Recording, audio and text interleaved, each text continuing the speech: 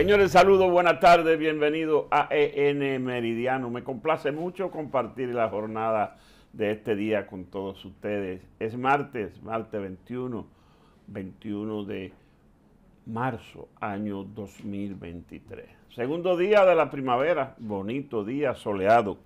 Don Mundo, Ledesma y Guerra. Don ¿todo bien? Muy bien. Oye, oye, esto sigue caliente. Pero mire, caliente. Esto, no está fácil.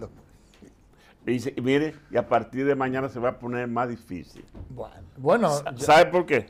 Dígame. Vi la ruta que está trazando Intran, prácticamente acordonando la ciudad en ocasión del inicio de la cumbre, que viene mucha visita extranjera oficial. El viernes, me parece. No, eso comienza mañana. Ah, comienza mañana. Entonces, mira, acordonar la zona colonial, la zona del embajador, la zona de la 27 de febrero, la avenida Bolívar, la zona de San Susi. Ya usted sabe. Entonces, eh, todo está dispuesto para darle protección a los mandatarios, jefes de Estado, y las delegaciones oficiales y empresariales que vienen al evento.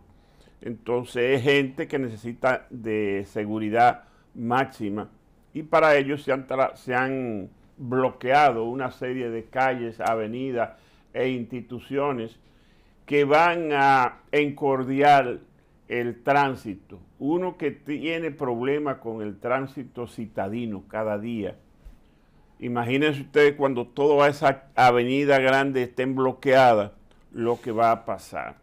De todas maneras, eh, mañana se inician los primeros trabajos de las comisiones técnicas.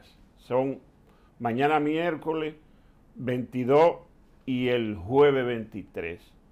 El sábado está la reunión de los cancilleres que preparan los documentos para la plenaria que es el sábado.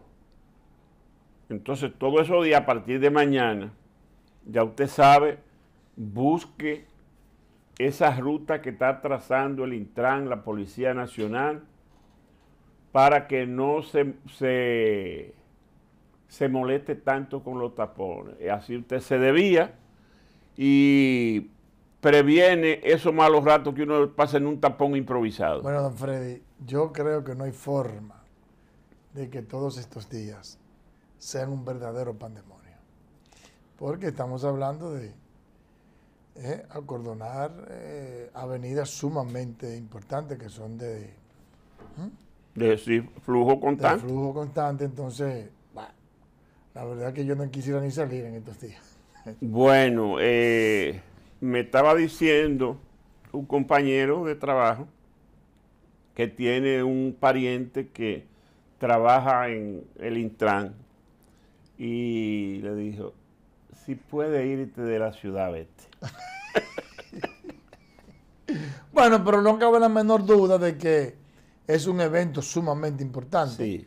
El, que, el que se va a celebrar en la República Dominicana mm, y mucho más en momentos tan difíciles que está pasando la humanidad, la región.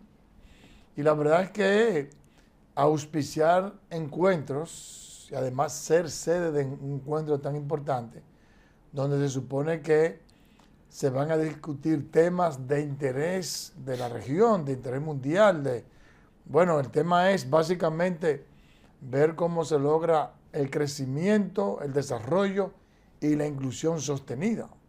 De todos más o menos versan sobre ese, sobre ese tema de ver cómo la democracia se fortalece, de ver cómo las economías se fortalecen, cómo la, hay un mayor nivel de integración, de intercambio comercial, político, cultural en la región en un ámbito sostenible de cuidado y protección a la, al medio ambiente, que todo el mundo sabe que está en peligro por el constante maltrato, la constante agresión de la humanidad al ecosistema mundial y está creando sus efectos. Pero además de ver cómo se integra la tecnología, a los procesos productivos, a los procesos de enseñanza de la región. Yo creo que es un encuentro en el que se van a tratar temas que son sumamente importantes, que la región debe de estar a la vanguardia sobre esos temas, un mundo que de acuerdo, les mencioné unos libritos, eh, eh, don Freddy, que he leído, de la cuarta revolución industrial, de la quinta revolución industrial, de crear o morir, que son temas que hablan de cómo la tecnología, la robótica, lo digital está impactando de manera integral a la humanidad y el mundo que se quede a la saga en torno a estos temas, pues va a tener problemas. Entonces, nosotros eh, pensamos que ciertamente es un encuentro importante que la República Dominicana no debe despreciar y que debe de estar atento a todo lo que se va a hablar y se va a concertar en esta cumbre. Yo espero, aunque ya lo adelantaron, que el presidente no pierda tiempo hablando del tema haitiano. No, eh, eh, es, casi, es casi imposible evadirlo. Sin embargo, eh, usted tiene razón. La agenda de, de, de la cumbre en sí tiene tres elementos importantes a tratar. Primero, la, la digitalización documental, la seguridad alimentaria y la protección al medio ambiente. Esos son los tres temas fundamentales. Sin embargo, hay temas eh, colaterales que van a ser obligados. Por ejemplo, la cooperación entre los países eh, iberoamericano de este lado del mundo y con España y Portugal, que son los que están en Europa. Exactamente. Y también el asunto de el incremento comercial. O sea, esos eso son, son, temas que no están en la agenda, pero son obligatorios. Entonces, imagínense usted, Luis, para Luis, para nuestro presidente, para el canciller, eh, la ayuda internacional para Haití es casi un clamor. Ese es un discurso que, ellos tienen para todos los eventos internacionales donde participan.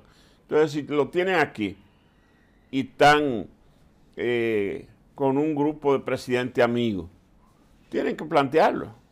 Don Freddy, yo le voy a decir una cosa.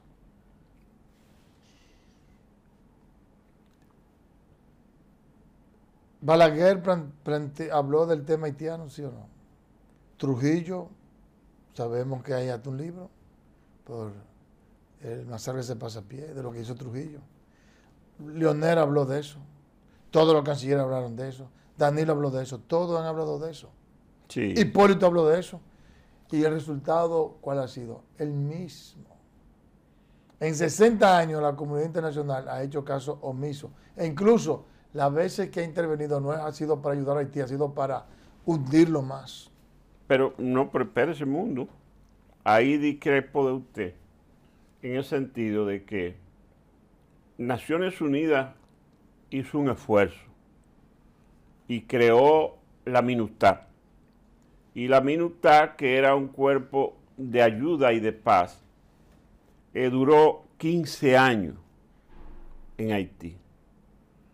Pero el problema de Haití es que ellos no se entienden entre ellos, pero tampoco se dejan ayudar.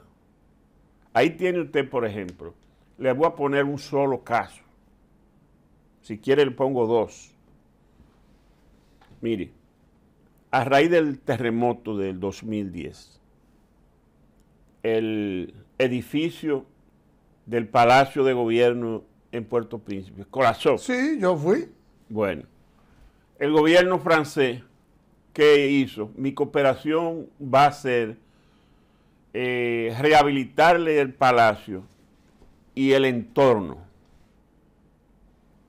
¿Y qué dijeron ellos?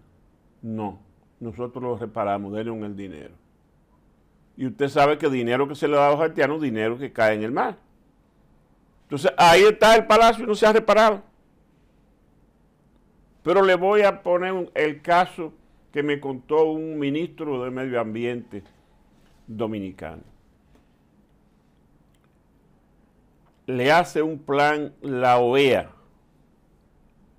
de ayuda para reforestar Haití, sobre todo la, parte alta de, la montaña, y los nacimientos de los ríos.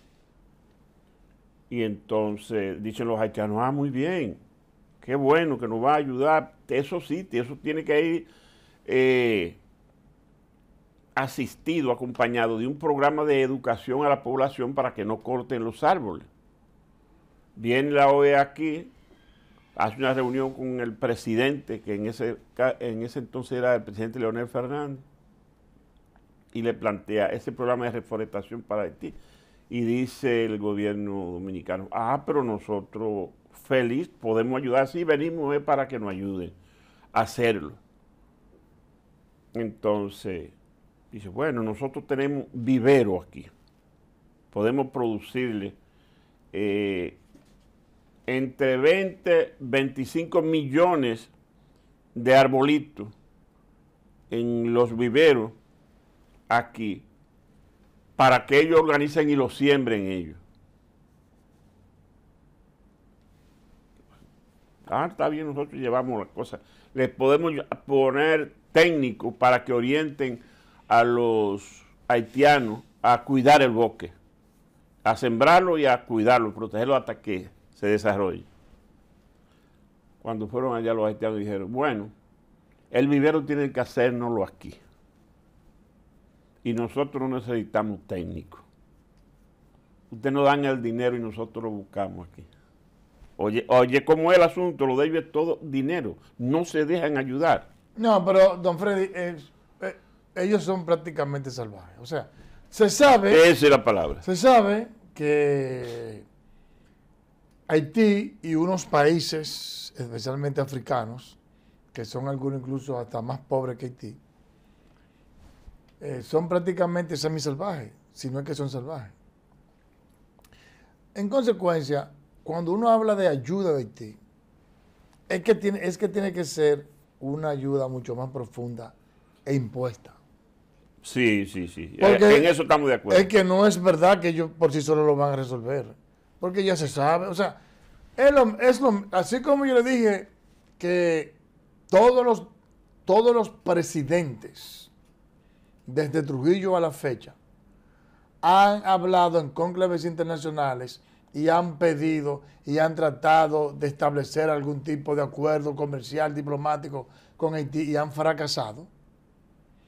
De igual manera, pensar que a los haitianos se les va a dar un dinero y ellos van a ejecutarlo adecuadamente, no va a pasar. No va a pasar. Como, como también hay países de África que, que se sabe, el Congo y otros más, que si usted le da el dinero, no va a pasar, no van a, hacer a ejecutar las cosas. Y hay otros que necesitan menos para hacerlo florecer. O sea, bueno, por eso, precisamente por las capacidades, por las condiciones, por la visión, de diferentes países líderes es que hay países que son ricos, altamente tecnológicos, y hay otros que viven en la edad de piedra todavía. Sí, sí, sí. En, La, en la edad de piedra, porque ahí los que toman las decisiones, unos son depredadores y otros son creadores. ¿Verdad? Entonces, ¿qué pasa? Se sabe que Haití, cuando yo hablo de ayuda, no es de que, vamos, le vamos a dar dinero. No, no, no, es imponérsele. Haití, eh, eh, eh, Haití hay que imponérsele. Entonces tenía que ser organizar un gobierno de fuerza. Claro, eso es lo primero. Y, ponerle un fideicomiso. Don Freddy, yo, le, yo creo que aquí he dicho en varias ocasiones. Primer detalle, Haití no está en condiciones de tener un régimen democrático. Eso es mentira. No, no. ¿Qué es democracia ni democracia? Porque la democracia, la, democracia, la democracia no es, no es una, una, patilla que tú te la y te conviertes en democracia. Exactamente. La, la, democracia es fruto de la evolución de un país que llega a un momento de madurez en que se permite ser democrático. Sí, sí. Bien, entonces Lamentablemente, Haití no ha, madurado, no ha evolucionado para ser un partido democrático. Son unos salvajes todos. ¿Y quién ha dicho que los salvajes son democráticos? Eso no es cierto. Así es. Mire, Mundo, con el permiso suyo de nuestro televidente, vamos a hacer una breve pausa. Y ya de regreso venimos con el tema del momento, el tema de la operación Calamar, hmm. los presos del Partido de la Liberación Dominicana y de otros litorales, y cómo va evolucionando el caso en la justicia. Regresamos.